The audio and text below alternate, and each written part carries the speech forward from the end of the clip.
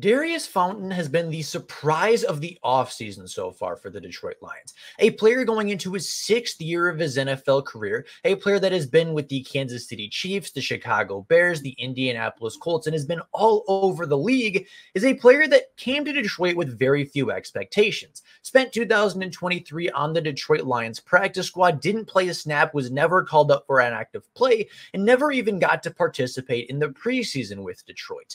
However, this year, going into OTA's minicamp and now throughout training camp, Daurice Fountain has not only made an opportunity and made a case for himself to make the 53 man roster, he is fighting for the opportunity to be the starting boundary wide receiver for the Detroit Lions in 2024.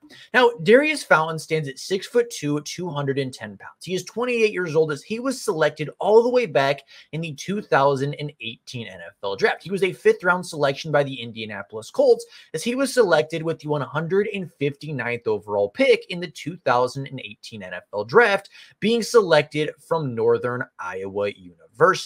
Now, despite not playing at the largest school, Daurice Fountain was still a very intriguing prospect for a lot of teams with his size, his speed, his athletic testing, and the pretty good numbers that he put up at a lower level of competition.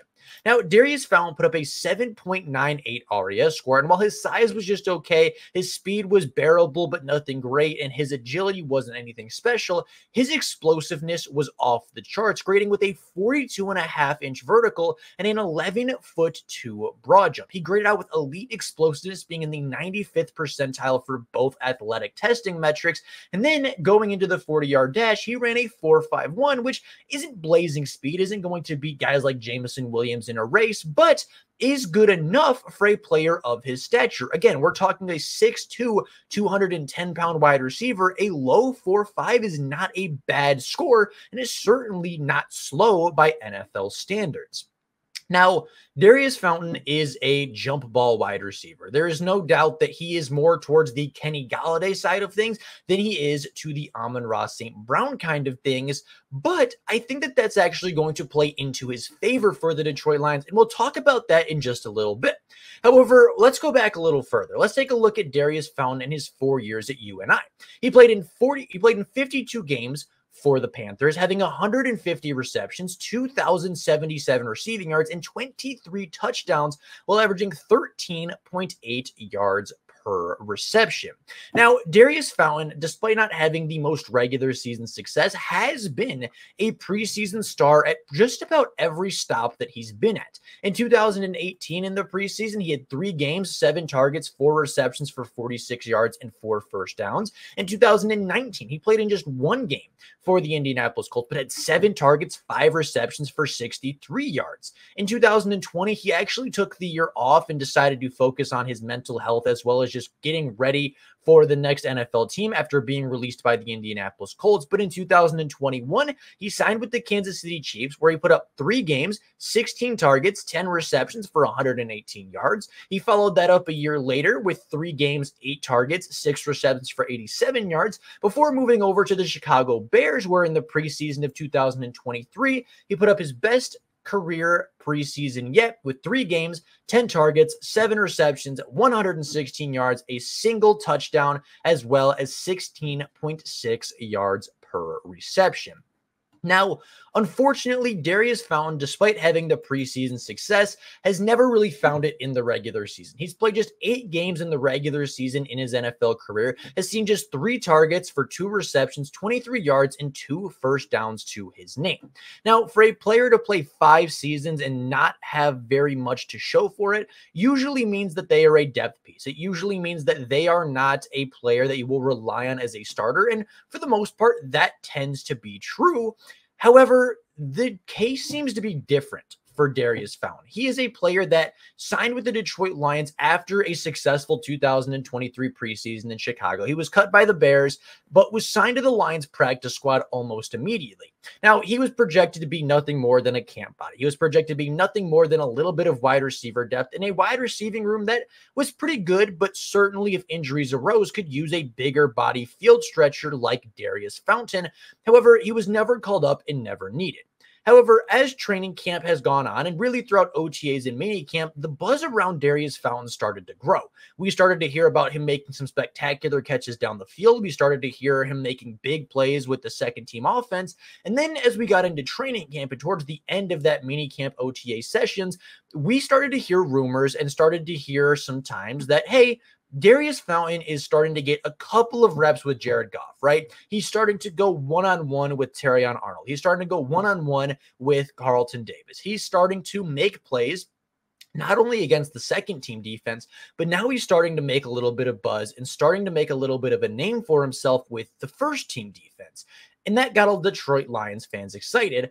And I think that there's a lot of competition. And I think that there really is an opportunity for Daurice Fountain to take a larger role this year than was ever expected. And honestly, I think he could be the missing answer for the X wide receiver the Lions have been looking for. Now, throughout the preseason, Daurice Fountain has gotten a lot of first team reps. It seems pretty easy and pretty confident that he will not only make the 53 man roster, but he will likely be the X wide receiver as he seems to be by far the most impressive throughout camp. He's had multiple touchdowns over Carlton Davis. He's won tough one on one first downs with Terrion Arnold, right? He's gotten first downs and one on one opportunities. He is making making plays versus the team's top cornerbacks. And I think that Daurice Fountain is in for a really strong season. Now, over the last couple of years, the Detroit Lions have failed to find their X wide receiver. In the first year of the Brad Holmes, Dan Campbell regime, it was supposed to be Tyrell Williams. Preseason looked good, training camp had some good moments, but in the first game of the season, in fact, the first target Tyrell Williams had as a Detroit Lion, he took a shot to the head that unfortunately was the last play of his NFL career. Tyrell Williams retired the end of that season without playing another snap for the Detroit Lions.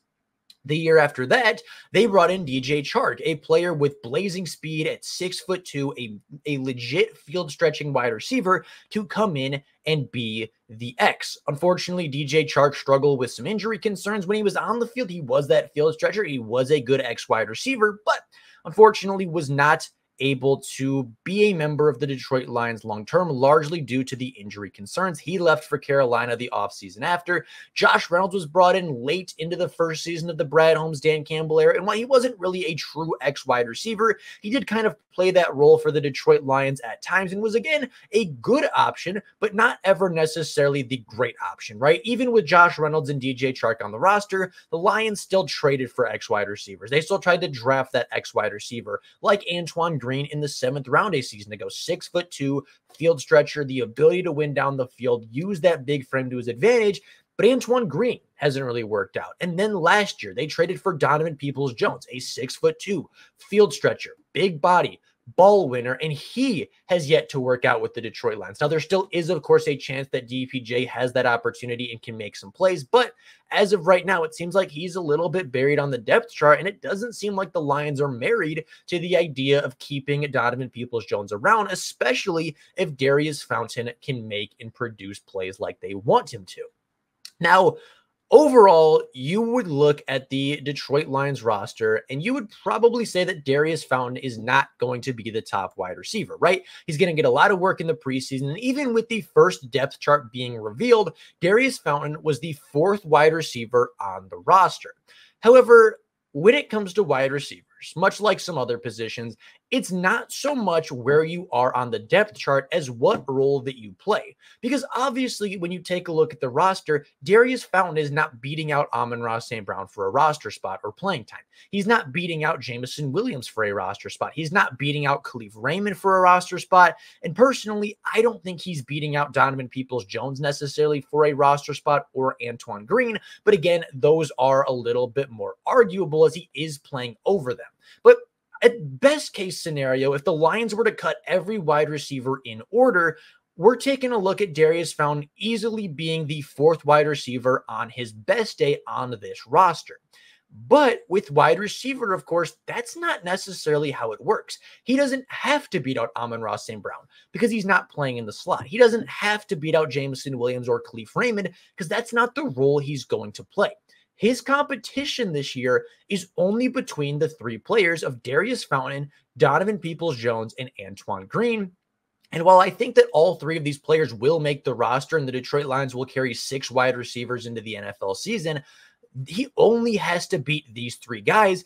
And as of right now, he is going to, right? These are the three players on the roster that have the case to be the X next season, right? Amon-Ra St. Brown is great outside. He's a great wide receiver. He's not an X wide receiver. He just isn't. He's not built to do it. He can play on the outside. He can win against the number one cornerback, but he's not the jump ball guy. He's not the big physical presence, right? That is not his role. Jameson Williams will play a lot over Daurice Fountain and all of these other players. He is the speedy guy. He is the field stretcher. He is the speed. He is the gas. He is the explosiveness and the electricity. These guys, Daurice Fountain, Donovan Peoples Jones, and Antoine Green are the muscle. They are the big bodies. They are the jump balls. They are the he's down there somewhere, throw it up and give them an opportunity. And between the three of them right now, Daurice Fountain is by far the best player throughout camp, by far the most impressive player throughout training, and will get the most opportunities, I think, when going into the 2024 preseason. Now, with that being said, overall, I honestly think that all six of those players make the roster. I think all three of these guys do that we're looking at right now, as well as Raymond, St. Brown, and Jameson Williams, of course. But with that being said, I do think that Daurice Fountain will be the X wide receiver to start the season. He has the size, he has the explosiveness, he has the speed, he has the preseason accolades and has the preseason statistics. He is the big body player. He is the archetype that the Lions have been looking for at wide receiver. And despite sending so many draft picks, so much money, so much capital, and even a couple of trades in there, Daurice Fountain, the most unsuspecting player of the bunch, very well could end up being the answer the Lions have been looking for. So, with that being said, that is all for you guys today. I am very excited to see number 12 play in the preseason. The Lions kick off in just three days from today. Thursday night, we will see him actively on the field with the Detroit Lions hopefully making some plays. So, with all of that being said, that is all I have for you guys right now. Let me know down in the comments below your expectations for Fountain going into the season. I'd be very curious what you guys have to say and what you guys think. But with all of that being said, that's all I got for you right now. We are so close to our goal of 4,100 subscribers by the first preseason game. And if you go down below and subscribe to the channel and hit the bell notification, we could hit that as early as today. So please go down below and do that. It helps the channel out a ton. Hit the bell notification so you never miss a Detroit Lions upload. Preseason's on the way, training camp is underway, and we are so close to football being back. We're going to have a lot of Lions content coming out, so hit the bell, subscribe to the channel, and I will see you all in the next Lions video. That is life for you guys right now. Thank you all so much for watching, and until next time, and as always, go Lions.